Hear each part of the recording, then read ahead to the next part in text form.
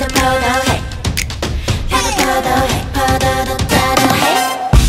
Tim Miss I got mugging though. Much for